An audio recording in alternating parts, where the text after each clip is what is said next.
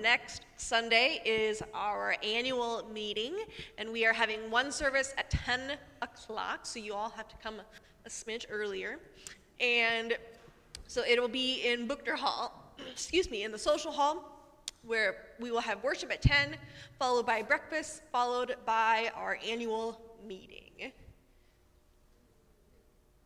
I was recently contacted this last week by a person who is in search of a cheap room to rent.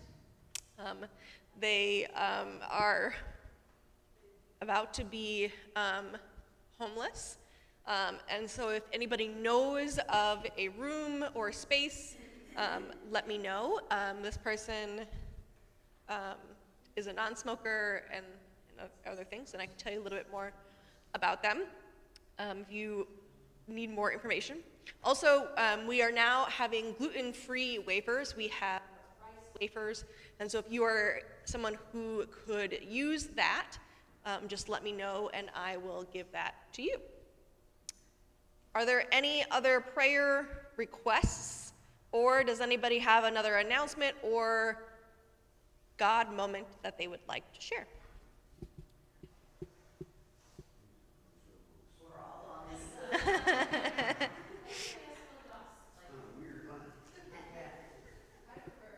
yes.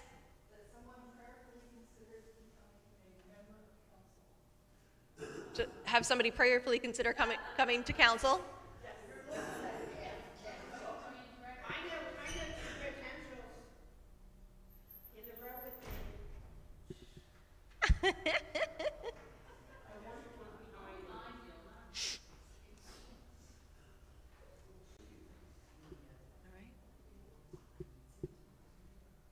Any other prayer requests or God moments?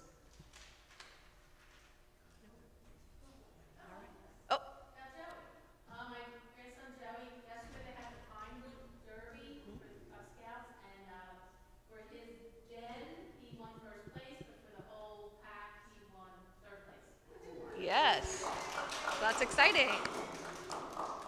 Yes, the our the troop um, that meets here had their Pinewood Derby, where they all of the scouts have to create their own car out of a block of wood.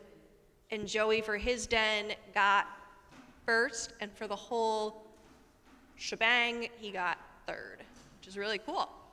I just wanted to say too how wonderful it is that St. Timothy's hosted the Pinewood Derby in the, in the Super Bowl. Yeah. And we're having scouts and this building is being put to such great use week. Yeah, in a couple weeks, we're going to have um, Scout Sunday, and so the Scouts will be joining us at both of the different services. That will be not this coming Sunday, but the following Sunday, the first Sunday in February. The Scouts will be joining us, and we have um, the Boy Scout troop, and we also have a little Girl Scout troop of little, I think they're brownies, daisies, they're kindergartners, so daisies, and so we will have some other um, people added to our crew that day. All right.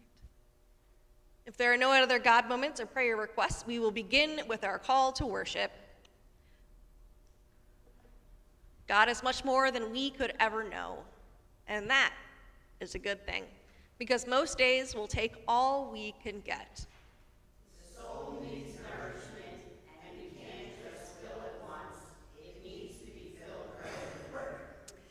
Please stand as you are comfortable. when our first song is Romans 12 1.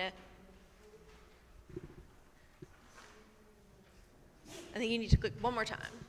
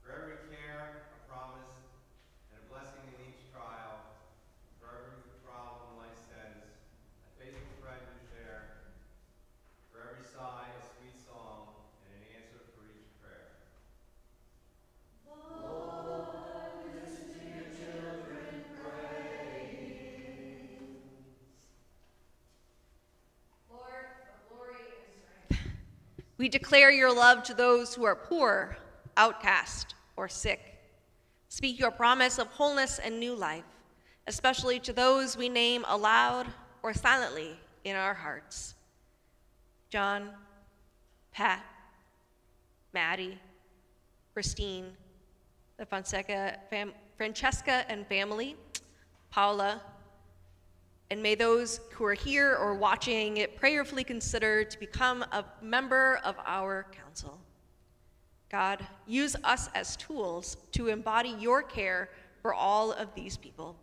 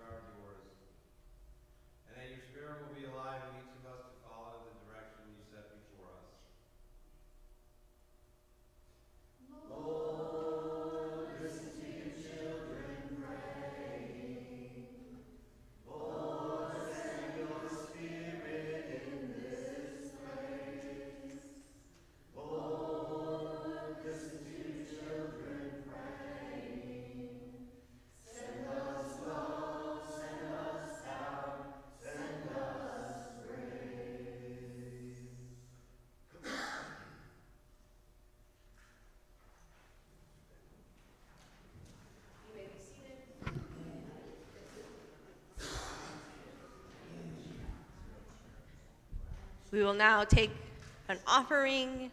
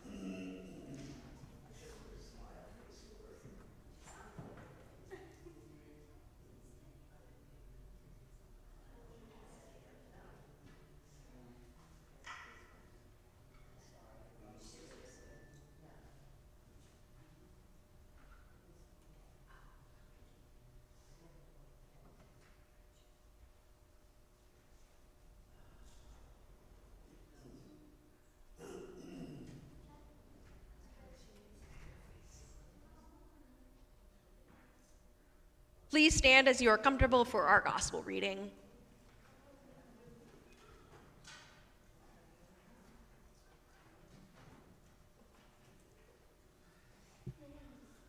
The Holy Gospel according to Matthew. To you. Now, when Jesus heard that John was arrested, he went to Galilee. He left Nazareth and settled in Capernaum, which lies alongside the sea in the area of Zebulun and Naphtali. This fulfilled what Isaiah the prophet had said Land of Zebulun and land of Naphtali, along the side, across the Jordan, Galilee of the Gentiles. The people who lived in great have seen a, who lived in dark have seen a great light.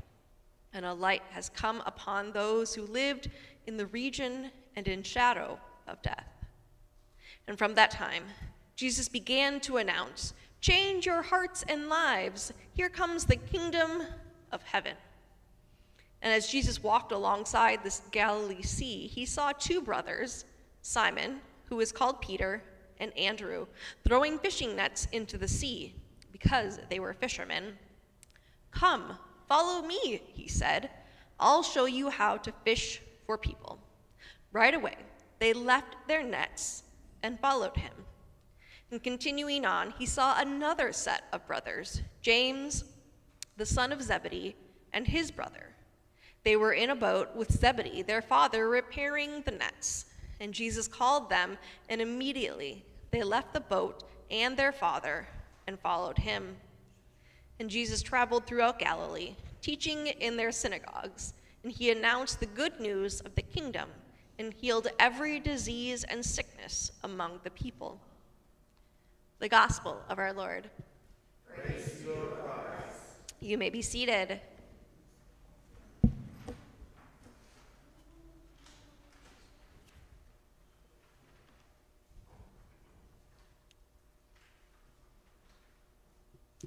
So, what does it mean to be a disciple? According to the dictionary, a disciple is like a pupil, someone who is following and learning under somebody else and who is adhering to their doctrines. Now, during Jesus' time, the disciples would usually seek after their own rabbi. They would seek after their own teacher who they wanted to learn from. But that's not what is happening here. Jesus, the teacher, is the one who goes out to find the people. He goes out and he calls four fishermen, two sets of brothers. We hear Simon, who is also known as Peter, and his brother Andrew, and then James and John. And so this makes me think about what does it mean to be called now? People talk about their feeling an inner calling or an external calling. An example of an inner calling is something that I experienced as a pastor, as a young person when I was in college and before, of saying, I want to really be with the people in their ministry, in whatever they're doing in the church. I want to be with the different generations of people in their highs, in their lows, in all the places in between. For me, I heard that call from God saying, Marie, go be a pastor.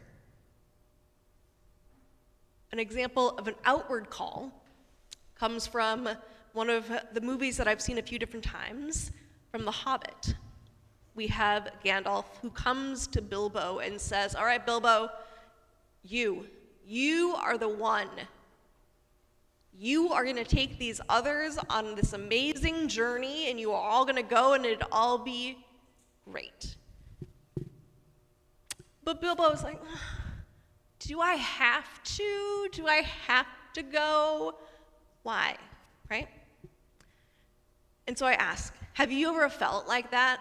Somebody from the outside calls you and says, hey, let's do this. You do that. And you're like, I don't know. I don't know. Or have you, were you maybe more like the brothers, the four fishermen, who as soon as somebody says, hey, come on, let's go, you're like, okay, let's go. Where are we going? Right? They're kind of different ways of being. But when Jesus says, Follow me, I will make you fish for people, if you heard that, how would you respond? Would you be more like Bilbo and say, I don't, I don't know, Jesus, what? Or would you maybe have been like those fishermen and said, All right, let's go. Bye, Dad, you know, right? Or right? You have these two different ways. I think about did the brothers actually know Jesus? If they didn't know Jesus and Jesus came up to them while they were at work and he was like, hey, come with me, we're gonna go. And they were like, yep, let's go. To me, that is an amazing leap of faith. But I also kind of wonder did maybe the brothers grow up with Jesus? Maybe they were all around the same age and they kind of knew each other. They were kind of running in the same circles. And so it wasn't as like shocking for this other person to say, hey, friend, come with me. Let's go. I wonder, what it would it be like if we heard that, hey, come, follow me, let's do something amazing together. My partner David grew up as a member of the Religious Society of Friends, also known as Quakers. And in Quakerism, they have this thing where he says everyone is called to ministry, just not the same ministry. That's kind of like what Luther in he talks about our vocation, that we are all called, that we are all your vocation is not just your job, but your vocation is being a mother or a friend or a baker. Or as in scriptures we hear the gifts of the Spirit. Each and every one of you here, and those who are not here, you have your own ministry. Your ministry may be the gift of music, the ministry of taking notes. I know that was me in college, all the notes. Or maybe your ministry is caring for others, or you are a ministry of cooking or gardening, or maybe you're even a ministry of presence. You are that person who everybody knows when they're in trouble, they can come to you and just be. Each of us has a different ministry. Jesus called the disciples Simon Peter, Andrew, James, and John. They happened to be fishermen, but they also had many other strengths. Last year, I took a class on living your strengths, discovering your God given talents, and inspiring your community. In this book, it talks about in learning, kind of naming what are you good at. So for me, even though I am somewhat of an introvert, I do like to talk. And so sometimes, you know, we do these things. So, hey, I could, I could go and I could talk. Even as a young person, I would be the one who'd be like, all right, you, you're going to go up and you're going to represent everybody else. And I'm like, okay, right? But that's something that I have come into and said, yes, this is one of my strengths. So this week, as we are going into our next time we gather together, I invite you to think about, to name for yourself, what are you good at? What are some of your strengths? What are some of those strengths that you have that you could apply here at church, apply out in the world? We have, as we said in our prayers, right? We have council members, so maybe you are good at taking notes, or maybe you are the person who knows a lot of the different people, or maybe you're somebody who wants to learn and to say, what is this church doing? I want to be a part of it. Each of you has different ministries. Just as Jesus called the people, Peter, James, John, Jesus and God call you. God calls you to share your gifts, your strengths, with all those you meet. Amen.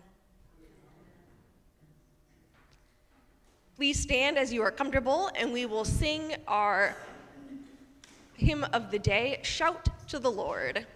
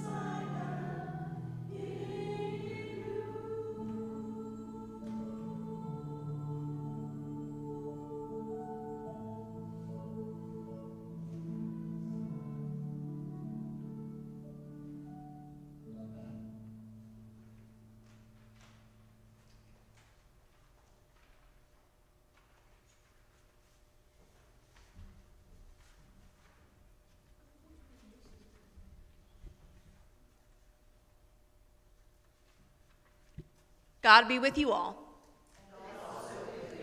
Rejoice. Christ promises to meet us in this meal. Our hearts are filled with joy and expectation.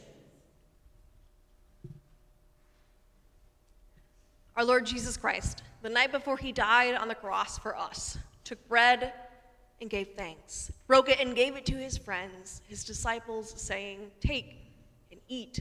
This is my body given for you. And again, after supper, he took a cup of wine, gave thanks, and gave it to his friends, and said, This cup is the new covenant sealed with my blood. All of you drink from it and know your sins are forgiven. And as we eat this bread and drink the cup, we remember Christ's death and the promise of his coming again.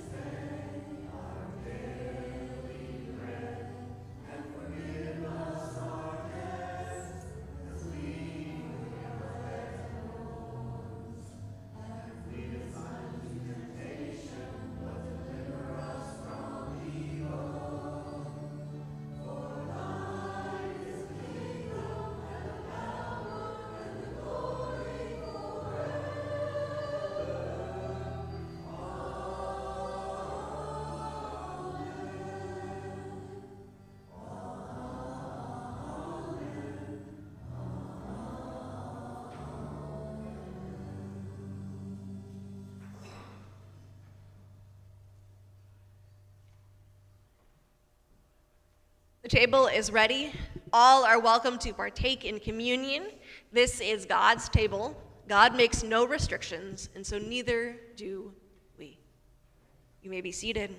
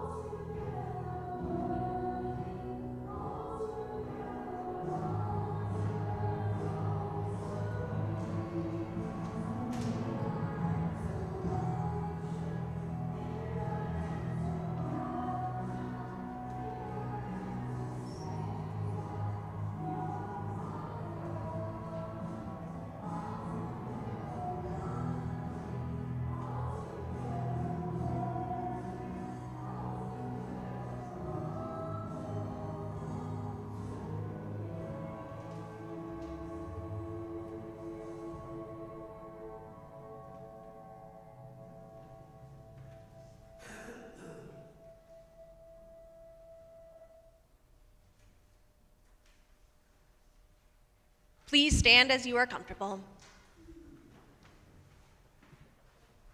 May the life giving power of God free us to dare, to dare to live differently, to play and work as people who have been transformed.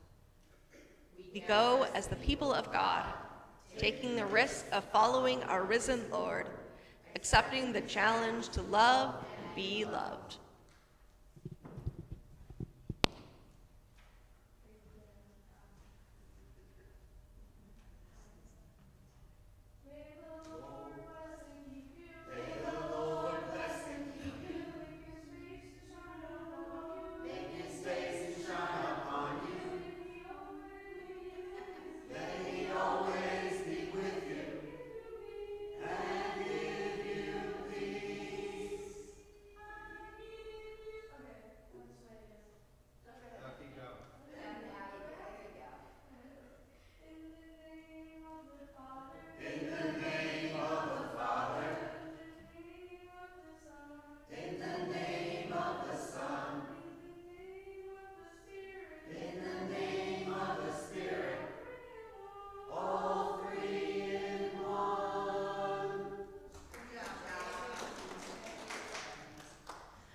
Our final song today is God of Wonders, and thank you all for working with us as Yosemar is healing from her surgery.